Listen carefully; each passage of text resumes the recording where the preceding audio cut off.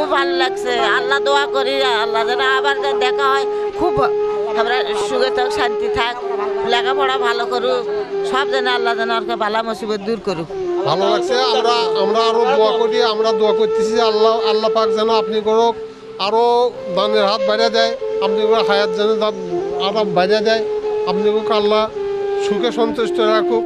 Corona সংকটকালে বগুড়ায় নিজেদের জামা কাপড়ের টাকা দিয়ে শতাধিক পরিবার এবং প্রবীণদের সাথে ঈদের খুশি ভাগাভাগি করে নিল তরুণ তরুণীদের সংগঠন নব্যদীপ্তি। দেশে করোনা মহামারীতে ভেঙে পড়া কিছু অসহায় পরিবার এবং বৃদ্ধাশ্রমে প্রবীণদের পাশে দাঁড়াতে পেরে যেন নিজেদের জীবন শ্রেষ্ঠ মনে করছেন সংগঠনটির কোমলমতি ছেলেমেয়েরা। আর তাদের এই মানবিক উদ্যোগের সাথে অংশগ্রহণ করতে পেরে খুশি বগুড়া সদর সার্কেলের অতিরিক্ত পুলিশ সুপার ফয়সাল মাহমুদ। শুদ্ধ চিন্তায় তারুণ্য স্লোগানে নব্যদীপ্তি শব্দের অর্থ নতুনের আলো, যা জেলা এবং দেশসেরা শিক্ষা প্রতিষ্ঠানের ছাত্রছাত্রীদের নিয়ে সংগঠিত। সংগঠনটি প্রতিনিয়ত তাদের লেখার মাধ্যমে একটি ওয়েবসাইটে তাদের শুদ্ধ চিন্তা চেতনা প্রকাশ করে।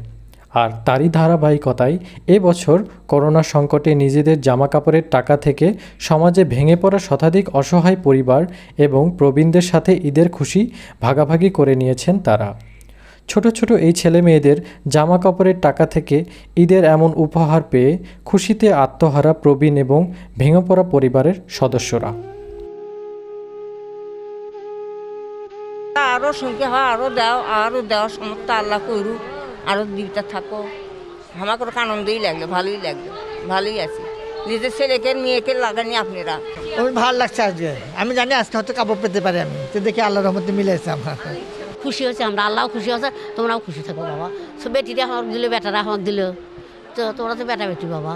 দোয়া করি তোমরা যেন সুখে সদস্য করে ফল লেখাপড়া যেন ভালো মতো করে আল্লাহ। আমি বড় দুঃখী কিন্তু আমি গান গাই সব আমি তো খুব হ্যাপি গান যে আমি কেন গাই না সে আমি জানি। এমন কার্যক্রমে অংশগ্রহণ করে নিজেদের জীবনে শ্রেষ্ঠ ঈদ মনে করছেন সংগঠনটির সদস্যরা। পরিকল্পনাটা আসলে আমাদের অনেক দিন ধরে ইচ্ছা ছিল যে আমরা ঈদের আনন্দ কিছু ভাগাভাগি করে নেব। এখানে আসার অনেক দিন ধরে ইচ্ছা ছিল আমাদের। তো সেখান থেকেই আর কি উদ্যোগ গ্রহণ করা, প্রবীণদের মাঝে কিছু সামান্য ঈদের আনন্দ ভাগাভাগি করে নেওয়ার চেষ্টা করা। আর পরবর্তীতে আমরা কিছু অসহায় পরিবারের মধ্যেও ঈদ সামগ্রী বিতরণ করব ইনশাল্লাহ প্রত্যেক বছর আমরা বিভিন্ন ব্র্যান্ডেড কাপড় চোপড় কিনে ঈদ হয়তো করি, সাময়িক একটা মানসিক প্রশান্তি পেয়েও যাই। তবে আজকে যখন আমরা তাদের মাঝখানে আসলাম, কথা বললাম এবং তাদের কাছে যে ভালোবাসাটা পেলাম, এটা আসলে আমাদের যত দামি পোশাক থাক বা ঈদের দিন আমরা যত ভালোভাবেই কাটাই, এত সুন্দর হতো না হয়তো বা। সে জায়গা থেকে আজকে কৃতজ্ঞ কৃতজ্ঞ আমরা এরকম একটি প্রতিষ্ঠানের প্রতি যে তারা এত সুন্দর, সুন্দরভাবে এতজনের সাথে আমাদের দেখা করার সুযোগ করে দিল। এটা আমাদের কাছে অনেক বড় একটি প্রাপ্তি। নবদ্বীপটি সংগঠনের হয়ে আমরা কিশোর কিশোরীরা প্রতি বছর তো জামা কাপড় ঈদে নেওয়াই হয়। কিন্তু এবার ভাবলাম যে করোনার এই সংকটকালে ওনাদের সাথেও আনন্দটা ভাগাভাগি করে নিই। তো আব্বু আম্মু ঈদের জামা কাপড় কেনার যে টাকাটা দিয়েছিল ওনাদের সাথে যতটুকু পেরেছি সাধ্যমতো শেয়ার করেছি।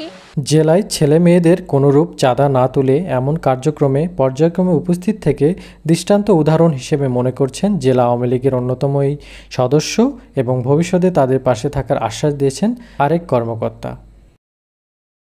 নবদীপ্ত পরিবারের সকল ছেলে মেয়েদেরকে ধন্যবাদ জানাচ্ছি যে এত সুন্দর একটি উদ্যোগ নেওয়ার জন্য। ছেলেমেয়েরা যা করেছে আমার কাছে মনে হয়েছে যে এটা অনেক প্রশংসনীয়। কারণ এই বয়সের ছেলেমেয়েরা ঈদের নিজেদের জন্য জামা কাপড় না কিনে এই অসহায় মানুষের জন্য চিন্তা ভাবনা করেছে। তো এই চিন্তা ভাবনাটা আসলে এই বয়সের ছেলে মেয়েদের মাঝখানে জাগ্রত হওয়াটা, এটা আসলে অকল্পনীয় ছিল।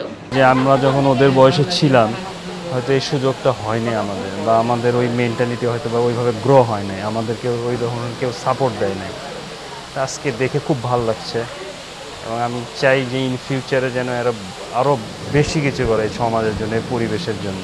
সংগঠনটির এমন শুদ্ধ চিন্তার মানবিক উদ্যোগের সাথে অংশগ্রহণ করতে পেরে অত্যন্ত খুশি বগুড়া সদর সার্কেলের অতিরিক্ত পুলিশ সুপার ফয়সাল মাহমুদ। আসলে এটা একটা চমৎকার অনুভূতি কারণ আমরা দেখছি যে বর্তমান সময়ে যে করোনা মহামারী চলছে সেই সময়টাতে মানুষ খুব অভাবগ্রস্ত হয়ে পড়ছে। যার কারণে মানুষের দুঃখ দুর্দশা বেড়েই চলছে। এরকম একটা সময়ে তাদের এই তরুণ প্রজন্মের এই যে একটা মানবিক চিন্তা ভাবনা এটা আসলেই প্রশংসনীয় এবং মানুষকে, অন্য মানুষদেরকে এটা তারা অনুপ্রেরণা যোগাবে আমার মনে হয় যে তাদেরকে দেখে আমরা আরও অনেকেই সমাজের উদ্বুদ্ধ হব এবং এই কাজটা আমরা কন্টিনিউ করব যাতে যারা কত দরিদ্র মানুষ, যারা গরিব, অসহায়, তারা যেন এই বিপদের সময় একটা আস্থা খুঁজে পায়।